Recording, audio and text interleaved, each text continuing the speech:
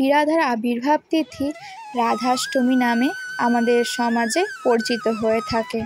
জন্মাষ্টমীর ঠিক পনেরো দিন পরই রাধারানীর জন্ম। অর্থাৎ ভাদ্র মাসের শুক্লপক্ষের অষ্টমী তিথিতে ধরণী আলোকিত করে শ্রীরাধিকার আবির্ভাব ঘটে।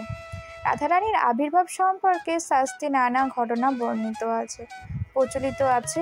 সূর্যদেব একদা পৃথিবী পরিক্রম করতে এসে পৃথিবীর সৌন্দর্য মাধুর্যে অভিভূত আকৃষ্ট হন এবং মন্দন পর্বতের গুহায় গভীর তপস্যায় লিপ্ত হন। এরূপ অবস্থায় দিন অতিবাহিত হতে থাকলে পৃথিবীর ক্রমশ অন্ধকারে আবিষ্ট হতে থাকে।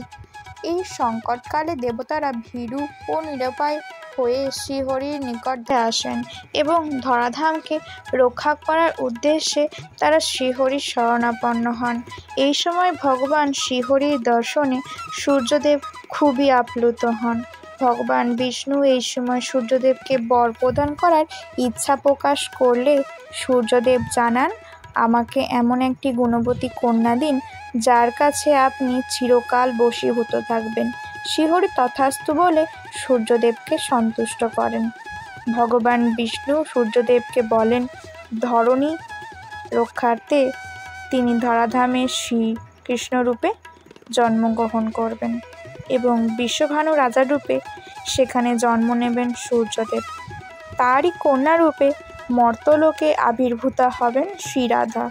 শ্রীকৃষ্ণ আরও বলেন যে, তিনি মর্তধামে কেবলমাত্র শ্রীরাধারই বশীভূত হবেন। এরপর ভগবান বিষ্ণু নন্দলয়ে বসুদেবের গৃহে জন্ম লাভ করেন।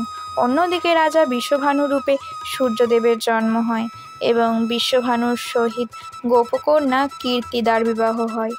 অবশেষে ভগবান বিষ্ণুর বরদান এ ভাদ্র মাসের শুক্লপক্ষের অষ্টম তিথিতে কীর্তিদার গর্ভ হতে শিরাধিকার জন্ম হয়। এই দিনটি রাধাষ্টমী নামে পরিচিত। সমাজ চক্ষে এই ঘটনার আরও একটি বর্ণনা পাওয়া যায়। সেটি হলো, একদিন রাজা বিশ্বভানু যমুনা নদীতে স্নান করতে গেছিলেন। তিনি নদীর মধ্যস্থানে সহস্র রবির আভার ন্যায় প্রজ্বলিত একটি স্বর্ণপদ্ম ফুটে আছে লক্ষ্য করতে পারেন এবং তাহার মধ্যে একটি শিশুকন্যা ঘুমিয়ে আছে। সেই মুহূর্তে ভগবান ব্রহ্মা রাজা বিশ্বভানুকে স্মরণ করিয়ে দেয়। ভগবান বিষ্ণু কর্তৃক তার পূর্বজন্মের বর লাভের স্মৃতি। এরপর মহানন্দে বিশ্বভানু সেই শিশুকন্যাকে নিয়ে এসে তার পত্নী কীর্তিদার হাতে তুলে দেয়। কিন্তু খুবই অবাক বিস্ময়, শিশুকন্যা তখন চোখ মেলে চায়নি। এই সময় ভগবান নারদ মুনির আদেশে রাজা বিশ্বভানু শিশু কন্যাটির আগমনের আনন্দে উৎসবের আয়োজন করলেন। সেখানে আমন্ত্রিতদের মধ্যে নন্দরাজ বাসুদেব উপস্থিত ছিলেন শ্রীকৃষ্ণকে নিয়ে। এই অনুষ্ঠানটি চলাকালীন শ্রীকৃষ্ণ একসময় হামাগুড়ি দিতে দিতে শ্রীরাধিকার নিকট চলে আসেন এবং সেই মুহূর্তে শ্রী রাধারানী চোখ মেলে দেখেন এবং দেখেন তার চোখের সামনেই গোপালকে, অর্থাৎ রাধা শ্রীকৃষ্ণকে দেখছেন। বৈষ্ণব তথা হিন্দু সমাজে জন্মাষ্টমীর পাশাপাশি মহা সমারোহে রাধাষ্টমী পালনও করা হয়।